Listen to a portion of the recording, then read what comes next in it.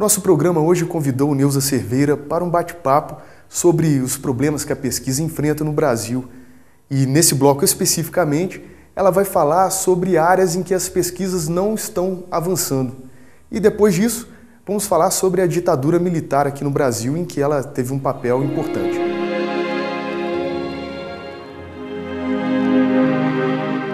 Na área da saúde, a gente tem algumas pesquisas que são patrocinadas, mas infelizmente são patrocinadas por laboratórios estrangeiros. Teve uma, uma pesquisa maravilhosa que eu acompanhei lá em Recife, de um medicamento à base do, do nosso hortelã, né, é, que é usado para de ameba. Nós sabemos que os remédios hoje em dia que existem para de ameba são altamente tóxicos tem crianças que realmente não podem tomar e tem que ficar com de ameba, que são, são parasitas terríveis, né? pode dar até no cérebro.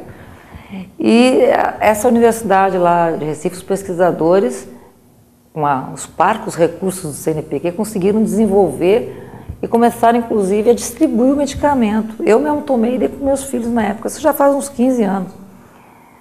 Depois de um tempo, acabou a pesquisa, acabou o remédio, a universidade não tinha mais. Eu perguntei, o laboratório que tinha patrocinado era japonês e levou o, o, o medicamento.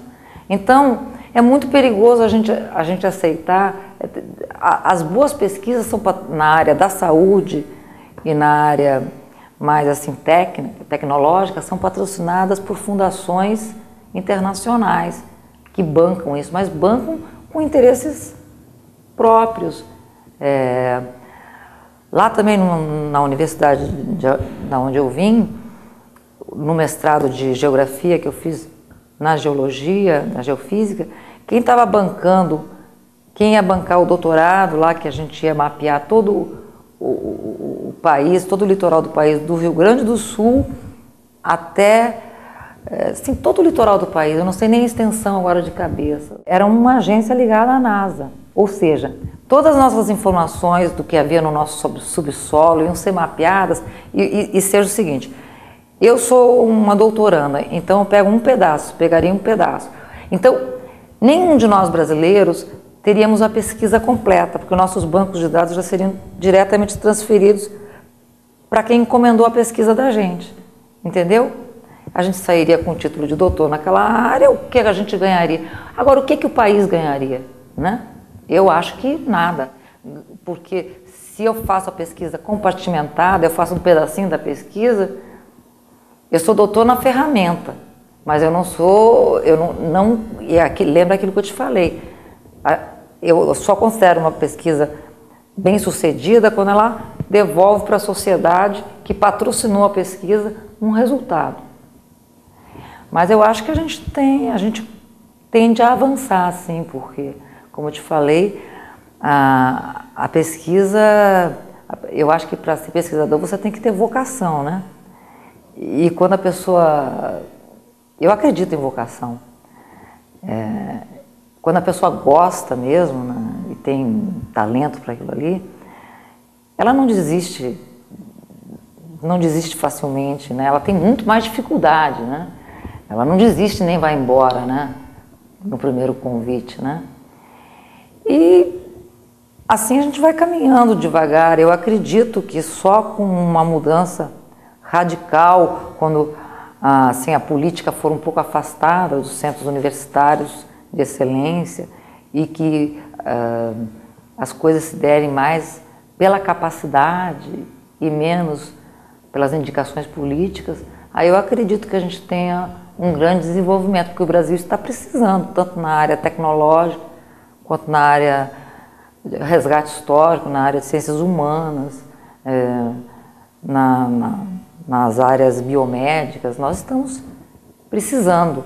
E precisando que os resultados fiquem aqui, né? Para serem utilizados pela sociedade.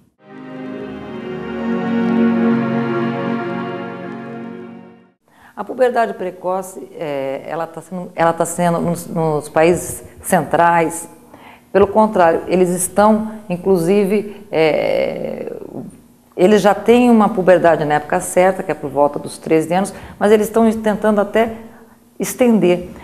porque se nota que quando a, menina ou o menino ela tem uma puberdade precoce, é, primeiro há uma perda muito grande da, da, da, altura que ela vai, vai ficar no final. Ela para de crescer, né? Ela só cresce depois da puberdade, um ou dois anos, três, ou quatro centímetros. Em segundo lugar, ela inicia a vida sexual. Iniciando a vida sexual e uma atividade hormonal muito grande, tanto o menino quanto a menina, há um desinteresse muito grande pela vida escolar. É, ela já entra no mundo do adulto com, com, sem a maturidade e sem os conhecimentos necessários né, para entrar na vida do adulto. Então, ela dá um salto, né? E isso tem prejudicado nossas crianças nos países periféricos, tanto no Brasil quanto na Colômbia, quanto na Bolívia. E ninguém se dispõe. Por que, que as pessoas não vão pesquisar por que, que essas pesquisas, uma pesquisa como essa não é aceita? Porque é, o tratamento para uma puberdade precoce, que é uma coisa, é uma coisa muito simples, é, deveria ser fornecido para o governo, porque as injeções que, que a criança precisa tomar saem 500 ou 600 reais por mês, né? E os postos de saúde não têm. Do mesmo jeito que se evita fazer pesquisas sobre os transtornos mentais no Brasil, porque nós não temos uma solução para esse problema, nem medicamentos e nem profissionais nos postos de saúde. Por exemplo, uma pessoa, um, um, uma pessoa que desça de um, de um morro, né, eh, de uma comunidade, como diz hoje em dia, uma, de uma favela, e chega num posto de saúde e diga, não, estou com depressão, quero me matar. Quero... Vai demorar uns seis meses para conseguir ver um psiquiatra. Né? Depois vai demorar mais uns seis meses o psiquiatra tentando convencer que ela não tem nada. Por quê? Porque não tem os antidepressivos, que são remédios caríssimos, ou outros remédios psiquiátricos para esquizofrenia, que tem um, um bom resultado, pode colocar o indivíduo, e uma terapia de apoio. Você não encontra psico, assim, terapeutas, é, até na questão da puberdade precoce, que é uma questão que está é, me, me, me, me atingindo pessoalmente, né, porque a minha filha de 10 anos, ela, ela está com, vai fazer 11, ela apresentou esse quadro de uma ligeira puberdade precoce. Foi por isso que eu comecei a pesquisar. Claro, quando a pessoa é pesquisadora, ela pesquisa tudo que está no seu entorno. Eu comecei a pesquisar, foi aí que eu cheguei diante dessa realidade, comecei a falar com colegas da universidade por que, que não existia pesquisas, porque as pesquisas servem para quê?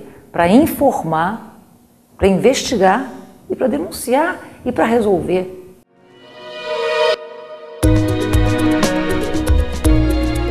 Ah, na época da ditadura, minha experiência foi, olha, foi assim incrível, porque a gente não podia se reunir. É, eu, então, era uma pessoa bastante visada, porque tinha vindo do, do, do exílio. Meu pai era um desaparecido político e eu entrei bem jovem na universidade. Tive até problema na universidade, mudei de curso uma vez. Cheguei a ter um processo administrativo. A gente não podia se reunir nos intervalos Parece mentira. Aqui no Rio de Janeiro, quando voltei do exílio, né, entrei bem cedo, bem jovem, com 16 anos na universidade. É, comecei é, fazendo história, né, até para acompanhar minha mãe que queria fazer um novo curso. Aí tive um problema administrativo, que a gente tentou fazer um, um DCE livre e um jornal, né? É, a gente tentou teve a ilusão que ia conseguir enganar ele, daquela coisa de estudante mesmo, né? E a gente foi preso pelo DOPS, né? Todo, todo o grupo do, do DCE livre, né? Foi o primeiro DCE livre da FA, foi todo um preso, até eu, né? Quem, e a gente foi, teve um inquérito administrativo que resultaria no 477. Para escapar do 477, o advogado doutor Modesta Silveira, na época, me ajudou e, e me aconselhou. Ele disse que não era o momento de que eu ia perder. Então ele disse que eu saísse, largar, abandonasse aquele curso e fizesse outro vestibular. O inquérito administrativo simplesmente foi o que nós fizemos. Eu e mais três colegas saímos da história e fizemos vestibular para economia, que era uma coisa outro centro, tudo diferente.